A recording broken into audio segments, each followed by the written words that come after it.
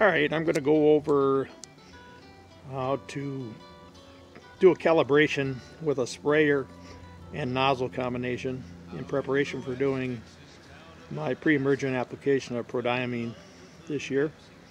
I'm going to be using my M4 sprayer. I have it filled up right now with three and a half gallons of water that I'm going to use as a starting point for laying down in the front yard. And I've selected a TeeJet nozzle And it's an air induction XR 11004 and the 4 is 0.4 gallons per minute but you can't really rely on that rate. It all depends on the pressure that you're having coming out of your sprayer. There's lots of other nozzle types you can try. It's really to personal preference trying to find one that matches your uh, sprayer's need and the droplet size that you're looking for that uh, won't drift too far away when you're applying it. So I'm going to try out this, uh, the one I mentioned. So if you look at the specifications for these TeeJet nozzles, they're specified to operate vertically, uh, so basically straight down from a height of 20 inches.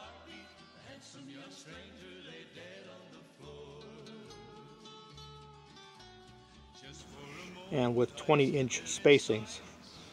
So in order to accomplish that, I've got, I made up two sticks, broomsticks, that if I hold one out at a end of a row, hold it out at a 45 degree angle, stick it in the ground, that'll be my marker for where I want to be in the center of the next row coming back.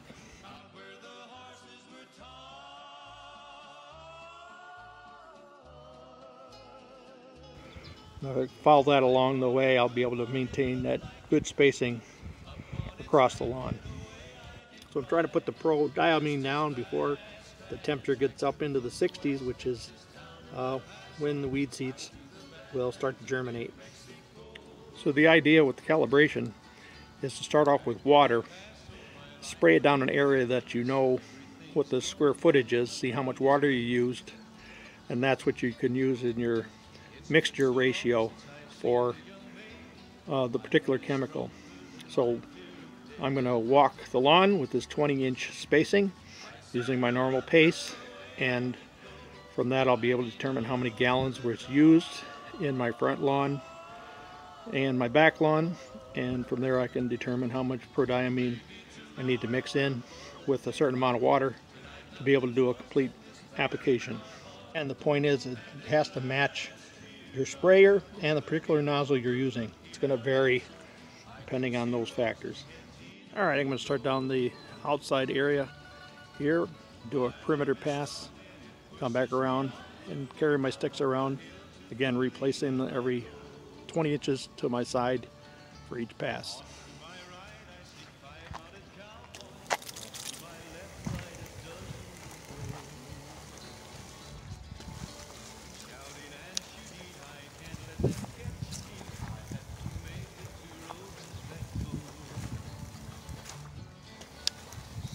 All right, planted the stick at the end of the row. Just move over about 20 inches and continue on.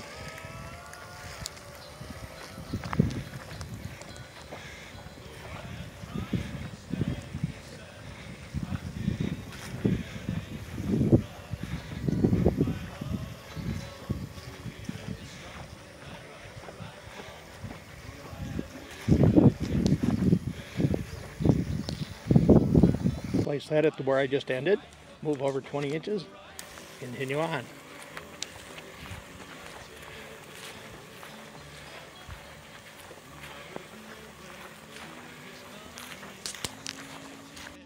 I just got done finished spraying in the front yard.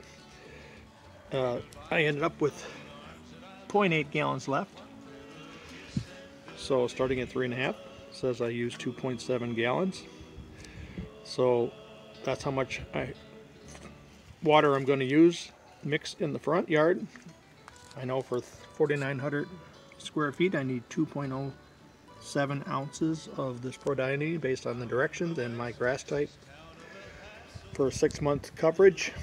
And so I'm going to fill this back up to 2.7 gallons of water, do the mixing, and I can do the application. and to do a similar thing in the backyard. All right, I decided to use the lawnmower and get all the leaves off. That also left me some decent lines to help with the orientation too. So that's it, thanks. All right, I got it all done. One thing I was going to mention, uh, if you know how much, how many ounces of that prodiandamine you need for a portion of your lawn, like in my case, it said 2.7 uh, gallons is the amount. You can certainly fill up the whole whole four gallons, or how many you have in your sprayer. Put in the the uh, the same ounce amount that's for the area of the lawn that you're talking about, which in my case is about two ounces, and go back and forth and do your normal spray pattern.